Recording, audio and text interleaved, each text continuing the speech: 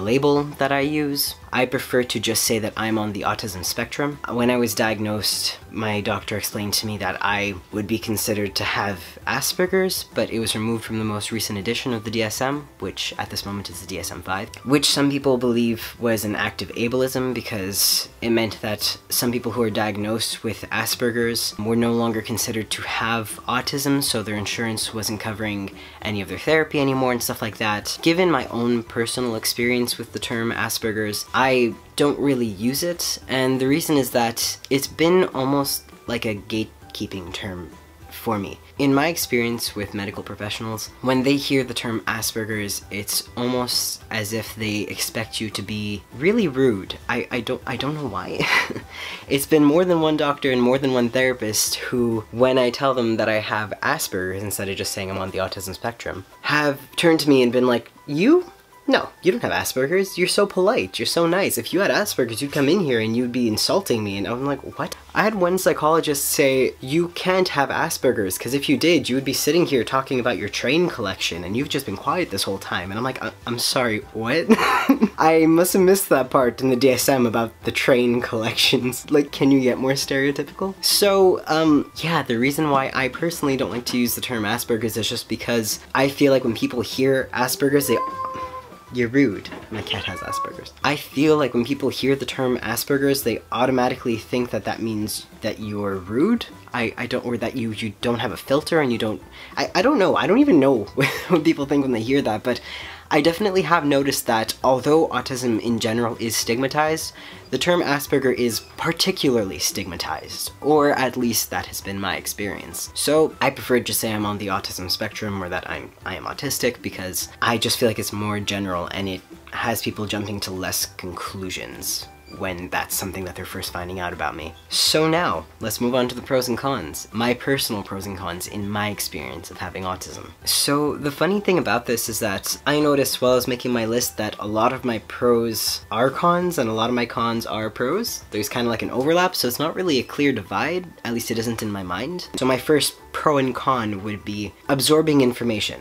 And what I mean by that is the pro would be my ability to absorb a ton of information and retain it over long periods of time. When I learn things, I can't just learn like the top layer. I need to understand the roots. So I need to understand why things are the way that they are and how they became that way. I need the history. I need to link it to other things that I already understand. And because that's the way that I learn, it means that I really understand the things that I'm learning. But it also means because that is the way that I learn, I oftentimes don't get to learn things. In school, I struggle. It's just everything is so timed and sectioned, and I don't know, it's just, for some reason, school is not the environment for me. My second pro and con would be my ability to think critically, I guess. What I mean by that is I see things really objectively and really logically, which would make it seem like I don't understand emotions and I'm detached from emotions, which is not at all the case. My my particular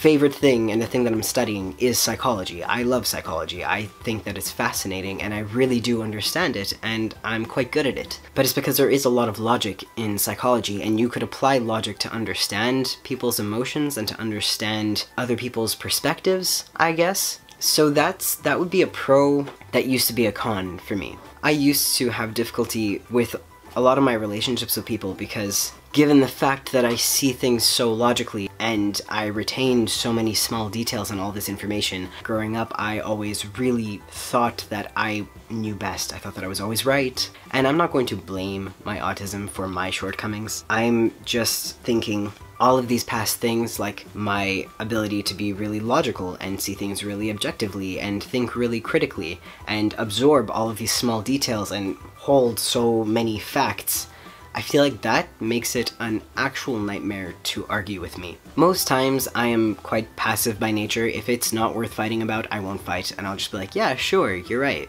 because I actually don't care. I don't have the time to fight over petty details. But if it's something that I am passionate about, or someone is particularly targeting me and talking to me about something, or is upset with me, and I'm like, well, here are the details, it became really difficult for me to maintain relationships because it was as if I thought I could never be wrong because I just, I make so much sense and I have all this logic, but the thing is, I, I needed to also acknowledge the fact that I'm flawed, and although I'm logical, you are also able to sometimes look at things from another person's perspective and apply logic and understand why they're seeing things the way that they are and understand that what's logical to you is not going to be logical to someone else. Logic is really subjective sometimes. So that's helped me.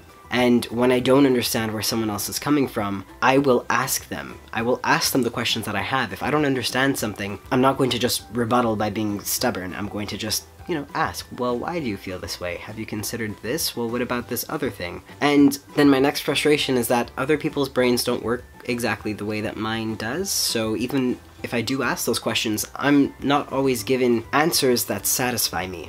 Oftentimes, if I'm in an argument with someone, I'm going to be met with a lot of really emotionally charged responses. So, well, this is how I feel, and it made me feel like that, and what about these feelings? And I'm like, but that's not what I asked. What, what about all these facts? But I've just realized that that is why I guess I used to come off as insensitive.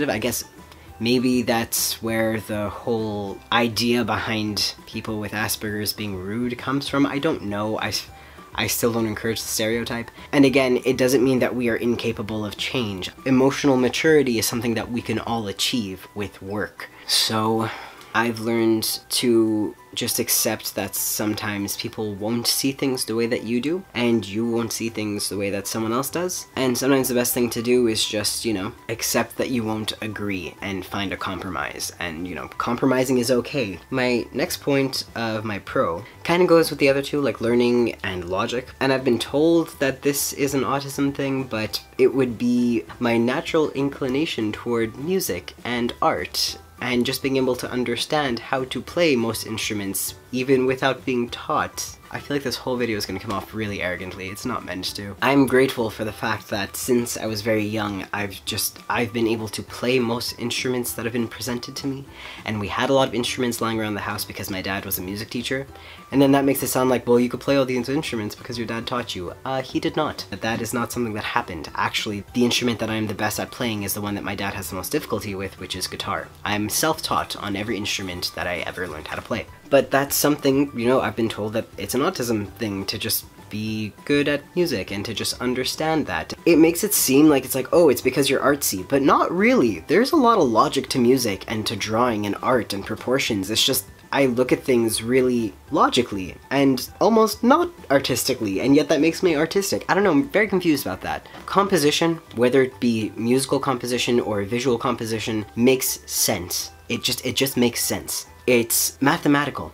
Music has rhythm, rhythm is math, it's numbers. Composition, you divide things into quadrants, it's just you divide things into thirds. It I I can't explain, but like there's a logic to it. And because I'm so good with numbers and I'm so good with patterns, and music and art both involve numbers and patterns and that's how you make something appealing to someone, whether it be the ear or the eye. I've always been good at them because of that. So oddly enough, my logic thinking brain, number loving, pattern loving brain has rendered me more gifted at music and art. So that's been a pro for me. The next con that I could think of is um, my sensory processing disorder. Everything feels like it's too much for me oftentimes. Lights will be too bright, sounds will be too loud, sensations will just be too much for me. Being touched, it's almost never the right time to touch me. And don't worry if you meet me somewhere in public and you want to hug me, that's fine. That's not what I'm talking about. I'm talking about like when people are just like especially intimate sort of touches, like a partner trying to like lightly stroke you, that that that makes me want to crawl out of my body. So that's been difficult because people sometimes take it the wrong way if I don't want to be touched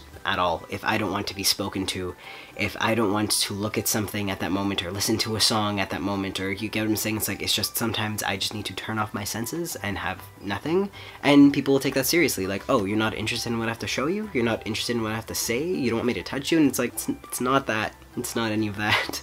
It's just, it's all too much, and I would like to save that energy. So that's been a con for me, but it doesn't mean that you can't work around it. And I do acknowledge that that in itself could be a pro. And some of those sensitivities might be the reason why I'm so artistically inclined, artistically inclined, autistically inclined. You get it? I see, conspiracy. So maybe the reason why I'm so sensitive to music and what sounds good and pitch, and I'm so sensitive to images and color and composition could have to do with my sensory processing disorder, with the fact that I'm perceiving most stimulation in a way that's really amplified compared to what it should be. So it's a con, but it could also be a pro. And I think that's it. The last thing I could think of in terms of a con would be that I'm really set in my ways.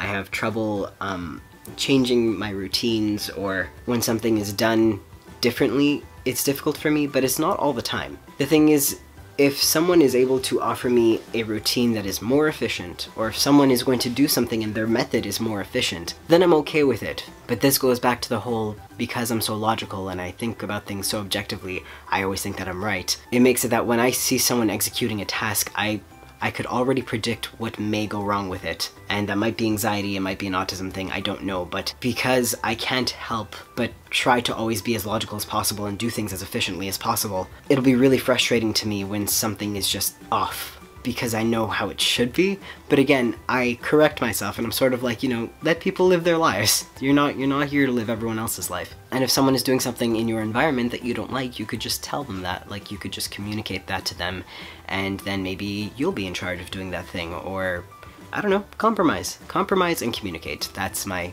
biggest piece of advice. So that's all. Those are just some thoughts on autism and some things about me and my autism. Let me know if you have any questions, if there's anything else you'd like me to cover, if there's anything you'd like me to go more in depth with, and hopefully you like this video. I really appreciate you taking the time to watch this, and I hope you have a great day and a great week, and take care of yourselves. Thanks so much for watching. Bye.